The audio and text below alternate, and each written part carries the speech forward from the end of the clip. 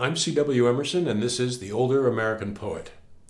On Lana Hechtman Ayers' new poetry collection, The Autobiography of Rain, Michael McGee writes These poems are full of the ache of loneliness, but are never loveless. They seem to make a long lyric narrative loop, a night train of the soul. And of Lana herself, from Lecia Adila Garcia, she leaps metaphorically to that numinous space where the everyday is mystical and profound her gift to the reader is an insightful gathering of revelations as if Neruda is sitting in her lap. Join me for part two of my conversation with poet and publisher Lana Hechtman Ayers as we discuss the autobiography of Rain, the importance of poetry teachers and mentors, how to assemble a poetry manuscript, and covert poetry, surprising strategies for sharing poems in the most unusual places. So, this is wonderful to be with Lana Hechtman Ayers for part two of our conversation. Welcome. Thank you for taking the time with me today. Thank you so much, Chris. Oh, you're it's welcome. Joy to be with you. It's my pleasure. And you have a wonderful new volume of poetry called The Autobiography of Rain that came out, I believe, August 6th. Yes, that's right. And has received rave reviews. People are loving it um, one of the things that brought us together is the presence of a wonderful poet and teacher in our lives, Cecilia Woloch. And uh, I thought we could say a little bit about our experience with Cecilia and um, move into our conversation in that way. How does that sound to you? That sounds wonderful. Great, great. Um, the first poem that uh, we were talking about having you read is a list poem. Mm-hmm. Um, Cecilia's list poems have been inspirational to me, and you bookend your your uh, book, the autobiography with of Rain, with list poems. So the one that we were going to start with is uh, the last poem in the book, actually. Yes, that's right. Um, I I think I I want to say a few words about Cecilia, and yes. then I'll read my poem. So. Uh, Cecilia introduced us in a way, which is wonderful. But I met Cecilia many years ago when she was my mentor in the MFA program I attended, the one that Patricia Fargnoli gave me that glowing recommendation for, and I was admitted to. Now, Cecilia was uh, wasn't my first mentor. She was my replacement mentor because the first mentor I was assigned, who shall remain nameless, told me I couldn't write grandmother poems. I was absolutely forbidden to write what he called grandmother poems because grandmother poems are trite. Well, I wasn't having any of that. Not only is it sexist and ageist, but it's ridiculous because our ancestors are part and parcel of us. So, uh, being a little bit ballsy because I had, you know, I had the voice of Patricia Fargnoli in my head, and, you know, and she was a strong woman who said to uh, advocate for yourself. I said, I'm going to leave this program unless you give me a different mentor. I'm not going to work with this mentor. And I had the great good fortune to be assigned Cecilia Woloch, who was amazing. All five feet of her, so, you know, maybe 80 pounds soaking wet, could take down any pontificating bruiser of the poetry patriarchy mm-hmm. with a few brilliant lines from her sultry lips. Yep. And Cecilia said, anything goes in poetry as long as you sing it from your deepest, truest self. Now, she was tough, but she was tender. Yeah. She pointed out all the places my language was lazy. And she offered hope and praise. And her belief in me that I could do better, I think made me do better because I believed in her belief in me. And, and that's why I improved as a poet. And, and the other thing I want to say about Cecilia is that anyone who doesn't know her work who doesn't know Cecilia Woloch's poetry needs to acquaint themselves with it immediately. And I think you'll agree with me on this, Chris. I think Cecilia Woloch is one of the finest living poets that we have. Her poems encompass history and the now, image and heart, and of course, song. Yes, so. I agree completely. Uh, when I was um, a baby poet, uh, I found a volume of her work and I read it. And I said out loud, apropos of nothing, this woman is going to be my teacher. I didn't know she was a teacher. I knew she was a remarkable poet uh, that I felt an immediate kinship with. And it turns out she's an amazing, uh, really world renowned teacher. And she became my mentor and teacher. Um, in, in trying to write what became the title poem of a collection of mine, it took 27 drafts, one draft a week, until I found the voice and found the heart of the poem, and it started to sing. So I agree with you completely yeah. about Cecilia. Yeah. And she's so generous. She's so incredibly generous. Very, very but yeah, anyone uh, who hears this interview, you have to read Cecilia Woloch. Yes, and you speak about grandmothers. Um, her family is all through her poetry. Oh, yes. My very favorite Cecilia Woloch poem is called Teta. Oh yes, a poem about her great aunt. Yes, uh, yes. And I thought and still think if I can ever write a poem that good, I'll be a worthy student of Cecilia's. So let's, with that, why don't you share uh, the, the poem that you're going to start with, which ends the book? It ends the book. And um, I already, I think, I think we mentioned this in the other time we spoke, but um, I'd already had the title for the book, but the title didn't appear in a poem. So I kind of had to write this for the book. And um, it has an epigraph. The epigraph is Listen to me as one listens to the rain. Octavio Paz. Things you will only learn about me when it's too late. I wanted to grow up to be an astronaut so I could escape the gravity of childhood. My first crush was on the winter night sky. In a crowd of people, mosquitoes bite me first. Sleep was never a friend. Barbie, a sworn enemy with her wasp waist and long, straight blonde locks. My dark hair never grows much below my ears. Hula hoops, hula hoops and I reached a discordant truce.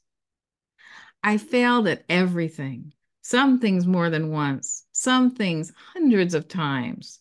This hasn't stopped me trying. The forest canopy is my adopted family. Coffee is a verb, poetry is breakfast. My heartbeat aligns with Atlantic Ocean's pulse. Klutz, I have spent my entire life falling. First in love with shadow, then with chiaroscuro. Once I pitched down a hill in a city park and would have kept rolling forever, except my head collided with a cedar tree and stopped me. Thankfully, the tree was unharmed. I trip over words, especially goodbye. I fell into mathematics as a major in college and am still solving for X. I stumbled into the oblivion of Earl Grey ice cream and never stumbled back out. I teeter on the seesaw of self love with a fulcrum of constant panic that balances things out nicely. My life story is the autobiography of rain. Lovely and that's the that's the circle closing the circle of the autobiography of rain and tells us where it came from. It's beautiful, beautiful. Yeah. As you um, noticed, I, I do have a thing for list poems. I really enjoy writing them, but I also really enjoy reading them. So I'm, I'm hoping that we can hear a list poem of yours that you spoke about earlier, and we can talk a little bit about list poems. Well, I have a short one that was inspired by Cecilia, um, and it's called What Was Promised. Mm-hmm. after Cecilia Woloch. A scattering of roses, a cut glass bowl, the racing form, some worthless tickets, luck of my own making, no homestead, the land sold off, the house demolished, a wooden gavel passed down to the son of a son of an auctioneer, a clarion voice like my father's voice and my grandfather's voice a ring, yellow diamond, given, then taken back. Music, my first companion. The brilliance of autumn, ochre and orange leaved days. Mud caked boots in winter. And lakes, always a lake. Snow. Mm. Wow.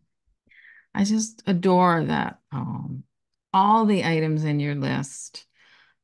Uh, you, you talk about what was given, what wasn't given, what was taken away, and what you had to give yourself. Mm-hmm. And that's just, it, it's just so exceptional. And that last item in the list, the real, it's real and ephemeral, like all of us, snow. You just feel that. You feel that moment of the beauty of snow interacting with a single flake and how quickly it's all gone. It's it's so powerful and passionate and all of the images are so vibrant and real, you know, from the the roses to the cut glass to the to the voice of the ancestors, the father, the grandfather. It's just really powerful. Thanks. And it speaks to the importance of a teacher. Cecilia helped put that last line, it's really a stanza, it's a whole stanza. Help me put that last stanza there. Wouldn't have known to do that. Yeah. And that's the generosity as well of a teacher. We could talk about that for days. We could. We yeah. could. Yeah. Um, I want to ask you about the way in which um, you put together this this book and, and all of your other books because you're mm-hmm. quite prolific. This is not your first time at the rodeo. It's not your first collection. Um, and I wonder if this is a, a good time for you to maybe say a little bit that will help other people about um, how you assemble a manuscript. What goes through your mind? Mm-hmm. Yeah. So this particular book is kind of different. It, it was organized a little bit differently than I've organized other books, and I'll, and here's the, I mean, one of the secrets that I've told you is that um, you know, I didn't have the last poem for the book, and I didn't I, it didn't originally um, have that first list poem either. So what I would normally do is arrange a book front to back, but there was something different about. what? Excuse me, just a second. There was something different I felt about this book. Um, it's arranged in three sections, and roughly the sections are laid out. And what I would call the first section is sort of foundational griefs, where I come from. The second section is sort of everyday griefs, including pandemic and other things that occurred in life. And the last section, grief and joy as partners in, in an enriching life. Um, and that that makes its way through from back to front, uh, from front to back. You know, as here's where I came from, here's what I experienced, here's where um, where I've developed to and hope to continue going. But also, you can read this collection back to front, and it would be an origin story. Um, it would be more of a story of joy that evolved and is ongoing traveling back through time into life's pitfalls. And how, even though traveling through time, you could see all along the journey that there were these kernels coming about for future joy and acceptance and love, you know, and peace. And that's kind of kind of interesting for me because I've never thought about doing that. But I think I might have mentioned I'm I'm sort of a time travel enthusiast anyways. Um, and I wrote a time travel novel. So yeah, I kind of wanted this book to be able to be read either front to back or back to front. So that's kind of a little secret about how this book is different from all other books I've organized. And that other secret that I didn't have the final poem. Originally, the penultimate poem was what I had when I first put the manuscript together. It's short poem. Um, and uh, the first poem was the second poem in the collection, which is a poem, probably the oldest poem in the book. I wrote it many years ago um, for a Seattle City Council meeting where they invited me to read a poem. And uh, it was a poem about art and writing. Uh, but those were the original first and last poems in the book. But I realized, well, I already had the title, The Autobiography of Rain, but the poems, the at least and the opening poem specifically, wasn't really telling the reader about the journey they were about to take. It wasn't saying you're on this journey with someone for their autobiography. So I had to go back and say, okay, what will tell the reader that? And um, so I actually had by that time figured out that I needed to write a poem with the title in it, and I'd written that poem, and I knew that was going to be the last poem. So I had to go back and write a first for the book. Um, and uh, this might be I have to I have to consult my notes on this, but there's um uh so most people know who Susan Sontag is. And she wrote the introduction to poet Adam Zagajewski's book, Another Beauty, another mm-hmm. incredible book of poems. If you've never read it, you need to read that one. And her comment was autobiography is the occasion to purge oneself of vanity while advancing the project of self understanding. Call it the wisdom product, project, which is mm-hmm. never completed, however long the life. And I, you know, I, I thought about that when I was putting together um, the first poem for the book. And I also thought about um, what poet Matthew Dickman says. I've taken a bunch of classes with him, and he says all art is an articulation of where we are who we are and what we are making at that moment. So I sort of tried to embody all of this and have a poem that would say, Reader, here's what you're in for. um, and that's what I try to do when I'm organizing poetry collections for others and for myself. Mm-hmm. I want to create a journey for the reader that feels fruitful, a first poem that sets the reader on the path of what is ahead for them. And then each poem in the book should be connected to one another by emotion or theme or image, specific language, maybe time progression, movements through time, not necessarily linear.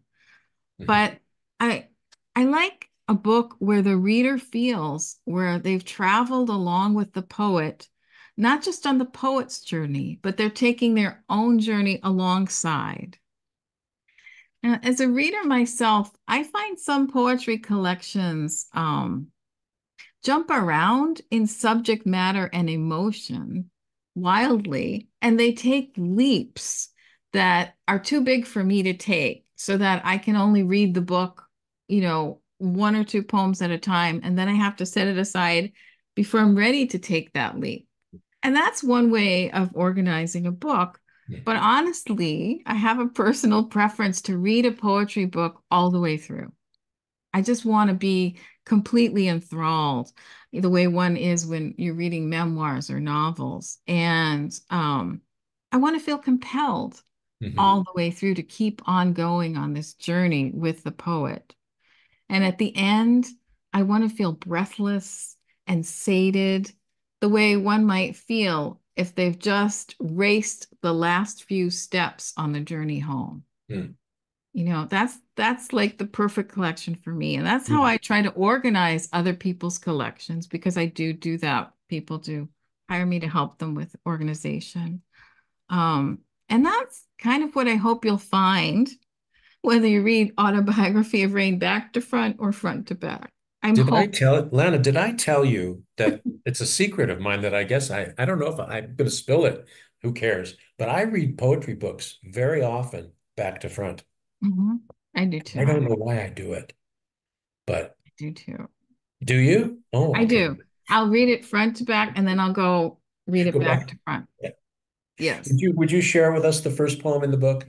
Absolutely, absolutely. It's called 19 things no one knows about me and one they do. And you just want to say, you might notice some of the same images from the final poem make it into this poem as well.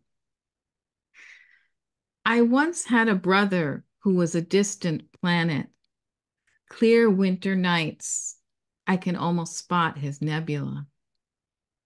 I was born dark. Things progressed from there.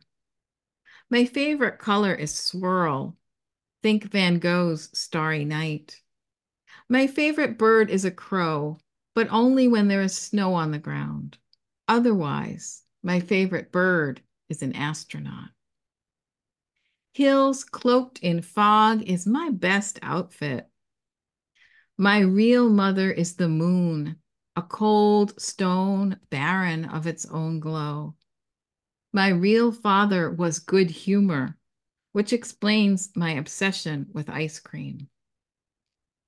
I have been mistaken for the help, but I've never worked that hard. Salt is my favorite vegetable. Hmm. If I could be anything I want when I grow up, I would be a pizza. Everyone loves pizza. Once I tripped and had to crawl back home. My knees bled in the pattern of rose petals. Twice I made the same hasty mistake. It cost me my sanity and a few subway tokens. Three times was not a charm for me. There are days I can't face, sometimes weeks, years. The mirror me glares. My name used to be synonymous with sorrow, so I changed it to be synonymous with wool. Whenever I see the sea, my eyes water. Whenever I smell creamed spinach, my mouth waters. A man once told me I was beautiful. He also said, God is a blowfish. The rain is my best friend. She knows how to keep a secret and wash away the evidence. The answer to every question I ever asked is poetry. Mm. Lovely. It it strikes me that not only in that poem, but in many of your poems, the body plays a central role. Um, can you talk about the place of, of the body in your poetry? There's a quote uh, in, in one of your poems about inheriting your grandmother's mm-hmm. dulcet hands, clumsy mm-hmm. thumbs, gnarled knuckles, and my own briny pulse. Mm-hmm. How does the notion of embodiment find its way into your work? Well, I think, you know, I always felt trapped in my body in a way like that my body didn't represent what was going on inside me. And i feel that way about so many people. You know you never know what lives inside a person. Um you know i i have a poet friend who you know on the outside doesn't conform to what society would call a beautiful human being. You know he's he's larger he's um, a little bit, uh, I don't know, grumbly, you know, kind of person. On the inside, he has this incredible, glorious soul and writes the most sensuous, beautiful poetry you could ever imagine. And you would look at him, you know, at a bus stop and think, I don't want to stand too close to that guy, you know. Um, but and I felt the same way, trapped in my body. I was a heavy child, very, very heavy child. You know, we uh, didn't have a lot of money and we accepted whatever we were given a lot of the time, which was, you know, cheese the size of car batteries and slimy green beans in cans and ketchup as our vegetables, actually. And, um, you know, we didn't have a healthy diet. So I was a really chubby kid and I felt trapped in this body with hand-me-down clothes that didn't fit. Um, and I, I I was kind of at war with my body.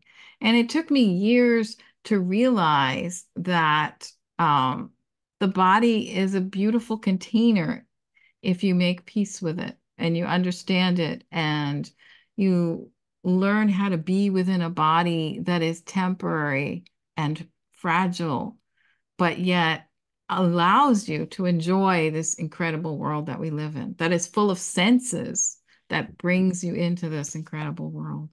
Um, and that took years for me to learn. You know, it took years for me to understand that uh, that the way that I was being judged for all of the ways I didn't fit in with society's feeling of what a person should look like. I had skin that was very dark. I had hair that was very wild, you know, an afro that always was needing taming and um and bursting out of clothes that never fit right. Um, yeah, it took a long time to say, I'm okay with this. And not only am I okay with this, but I'm this is a gift. This is a gift. Yeah. Um, I have a, a poem that's called Body that I'd like to share with you uh, it carries with it a lot of the ideas that you've just put forward.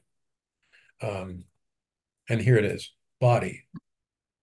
The body is a map of what befalls it, both a map and the territory it signifies. Its borders are drawn in bruised and sutured flesh. My body is a map of lake and woodlands, white with winter, umber in autumn, multiple the dreams by which it is riven. This is the dream it is dreaming now. Someone is singing a lamentation while the body melts in the sun's fierce rays. Wow.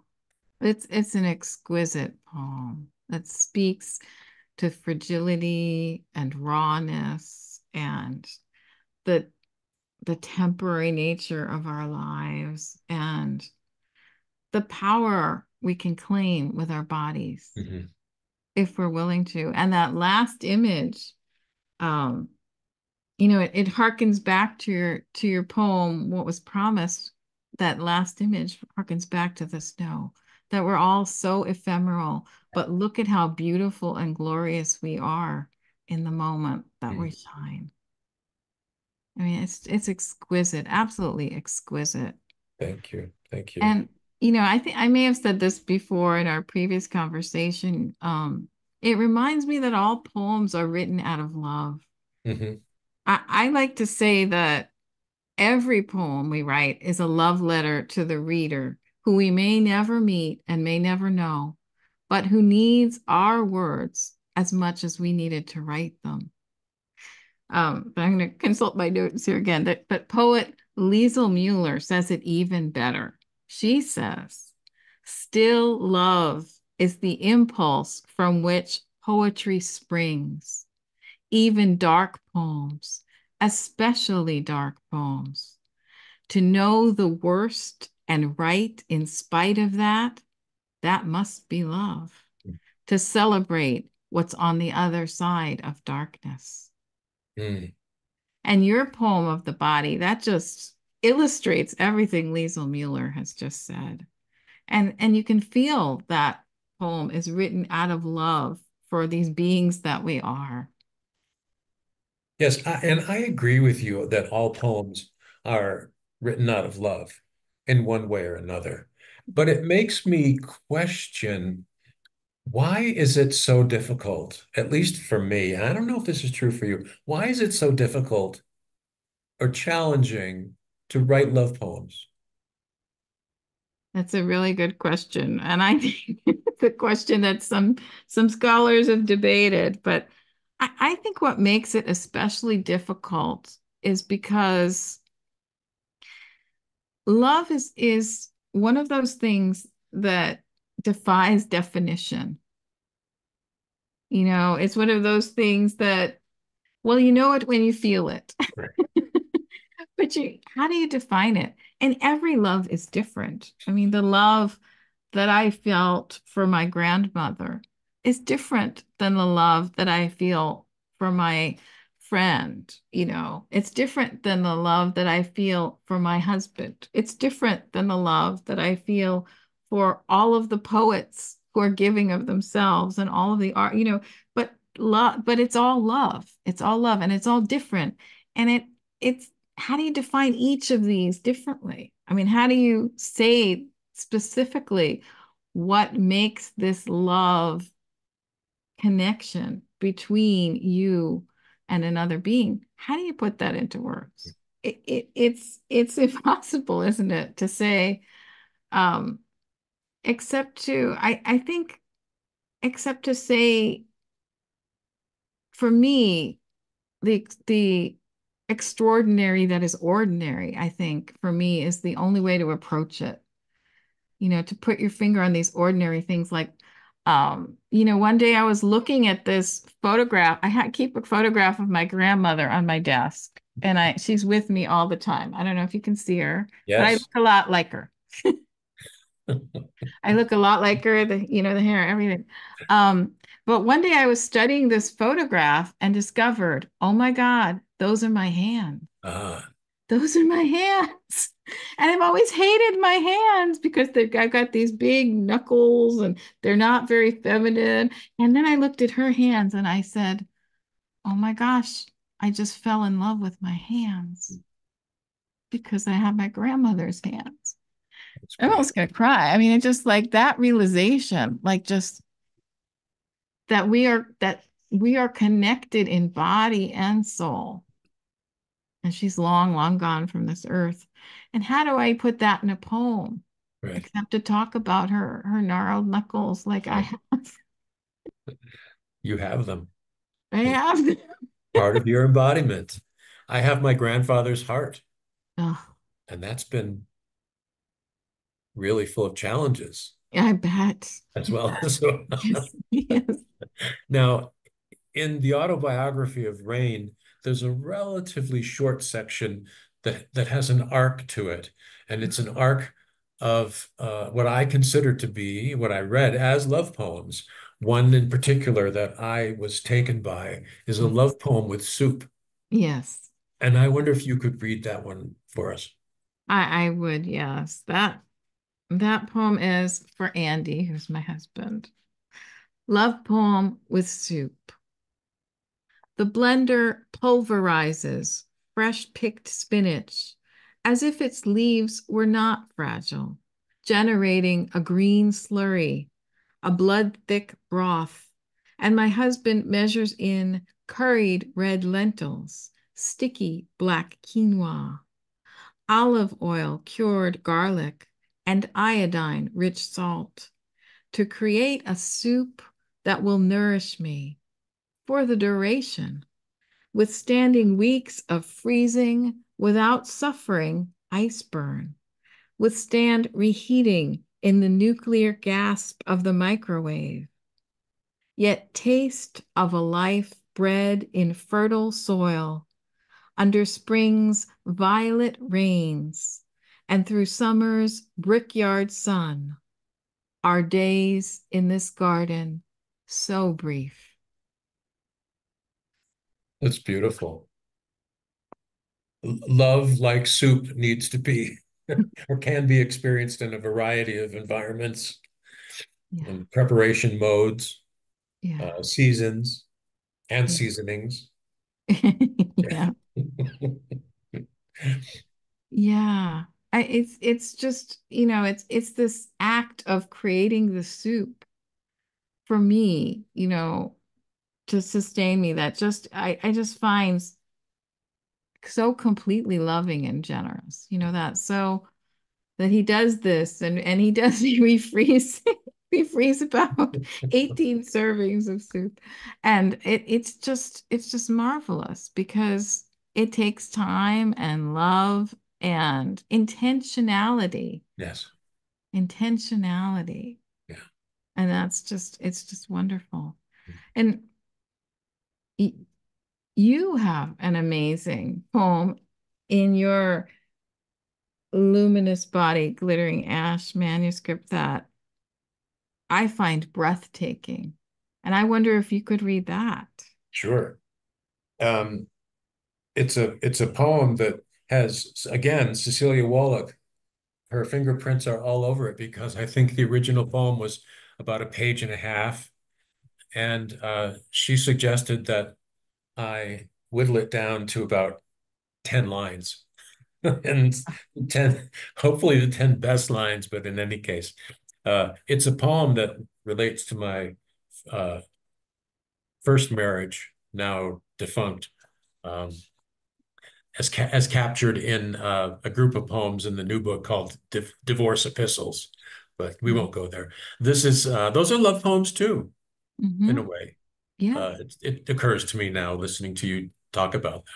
But this is called To G, late November, six weeks married. You've asked me to tell you what I want for the world, for myself, and for us.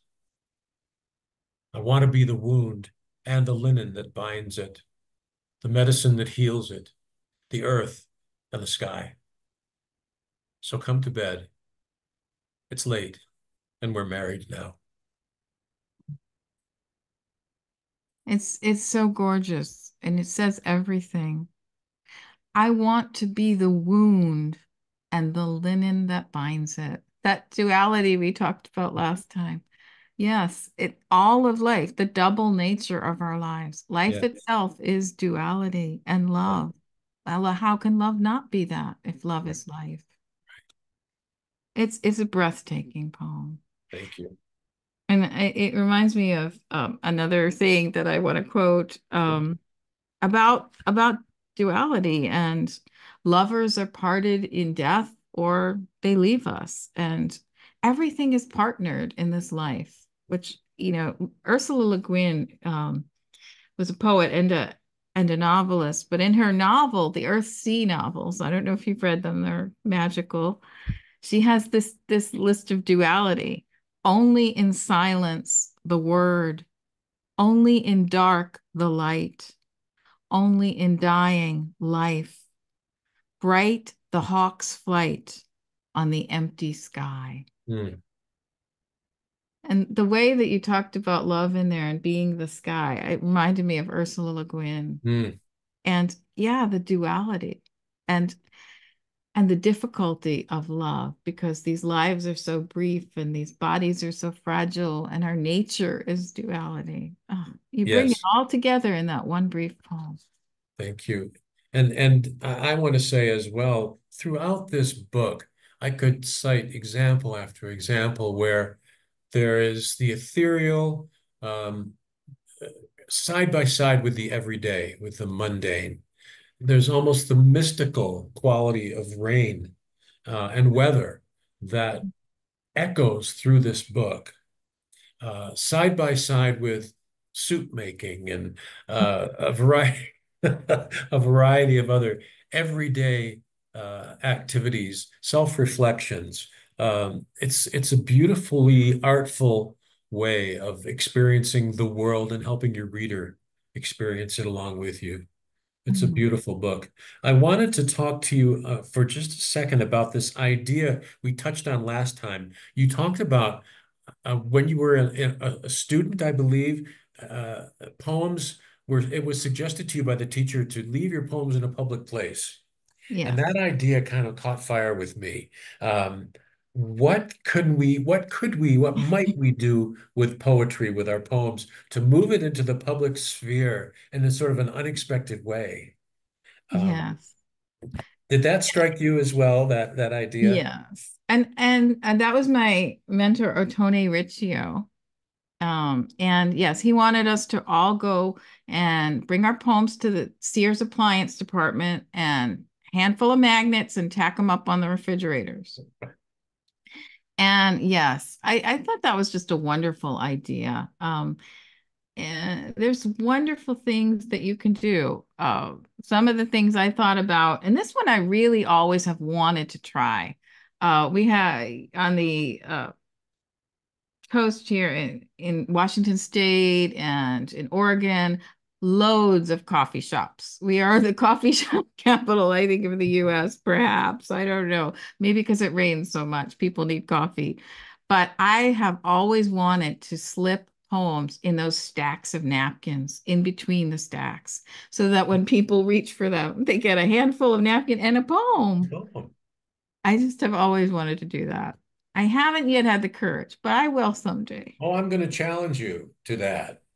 and if you'll do it, I'll go down to the coffee shop down the street from from our house here in Mexico, uh, where a lot of the gringos go, but not only, and they have stacks of books that you can take one, replace one, take one, replace one. And I'll find a poem of mine or a couple poems that aren't too dark and dreary and I'll place those in the books if you'll put some in the napkin stand. That sounds like a great I love it. And the, the other things that I think uh, would be great is um, you can, you know, if you're ever traveling, you can leave poems all over the airport. I mean, there's a lot of places you can leave poems in an airport. Um, you know, just leave a couple on a table um, if you're in a bus station, you can slip them into the schedules, you know, where they have the schedules, slip them into the slots where the schedules are. I think that would be great. Um, and I I would love to leave poetry all over public parks, but not to litter. You know, that the paper has to be biodegradable and the ink, uh, you know, non-poisonous, so we don't harm any of the creatures that might eat it. But yes, they're you know just under a rock here and there. You know, what a great idea. Washes, if it washes away and soaks into the earth, well, the earth has your poems. Wow. But you know, biodegradable, biodegradable poems. Biodegradable poems. I love and, that idea. And I'm a big fan of thrift. I, you know, because the way I grew up, I'm a big fan of thrift shops. So, um, slipping poems into the the the uh, vintage shoes, slipping poems into the vases, and especially like you said in the in the books. Yeah. Um, I think that would be wonderful. And restaurants too. Some some of them have those menus that have those uh, cellophane sort of mm-hmm. covers on them. You could slip mm-hmm. them under the cellophane. Yeah, I think there's so many wonderful places. I love that. we should uh, be doing more of that, I think, in I think life. So. Just the randomness. Um, and they don't all necessarily, do they have to be uh, all sweet poems that are wrapped up with a nice bow, or can we be challenging? I, I think they can just be poems that are real. Just poems that are real that people recognize that, yeah, yeah this is real life. Yeah. Absolutely. Well, speaking of real life, I wonder if we can wind our conversation down with a list poem of Cecilia's, since that's mm-hmm. been a mm-hmm. running theme of our talk today. Yes. Um, it's the one that inspired my list poem. Um, and I believe it's called What Was Promised to Me. Yes. Would you yeah. read that? Uh, I would love to read that. Take us out. And it's from her award winning chapbook called Earth. Yes. Came out a number of years ago from Two Sylvias Press. And it's actually the first poem in her book. What was promised me? Nothing. A ring and some salt rice in the white shoes, music, a doll. The book my mother read to me over and over when I was a child. Tigers turning to butter, to milk. an amulet from a boy who carried a knife in his pocket, too. Night, I was not promised dawn. Stars hooked to sky by my father's hands. Love, like a tree I could climb to the top of and then jump down from, or swing from, or fly. Mercies so small I could hide each one inside a flower.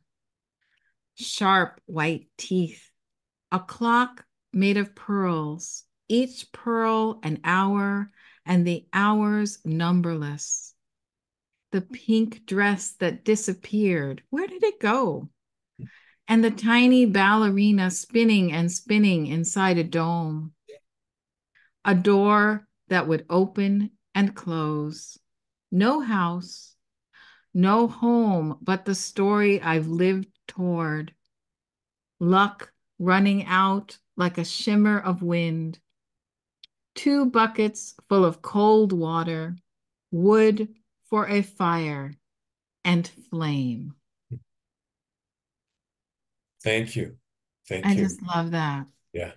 I mean, it's, Your it's- book, your your book is uh, now available, Yes. and so I'm going to make sure that we have a, a link to uh, the autobiography of Rain, so that people can purchase it after they have listened to us extol it. And it's a wonderful, wonderful book, uh, back to front, front to back. I've very much enjoyed reading it more than once now. Thank you. And I want to thank you so much for taking the time to talk to me today. Uh, poet, publisher, Lana Hechtman Ayers. The Autobiography of Rain is the book. Thank you so much. Thank you so much, Chris. And thank you for reading your poems. And as your poem says, all we're promised is the moment we're given, pretty much. And I hope that's what people take away from the autobiography of Rain to make the best of every moment. And I wish you and all our listeners peace and may you find poetry wherever you look. Thank you so much, Chris, Thank for you. this conversation. Thank you, Lena. I'm C.W. Emerson, and this is The Older American Poet. If you enjoy and value poetry, please like and subscribe to my channel and share it with others who might enjoy it too. Visit my website, theolderamericanpoet.com, to contact me, find out about upcoming readings, and how to purchase books. Remember, young or old, novice or pro, poetry is for everyone. So join me and let's do poetry together.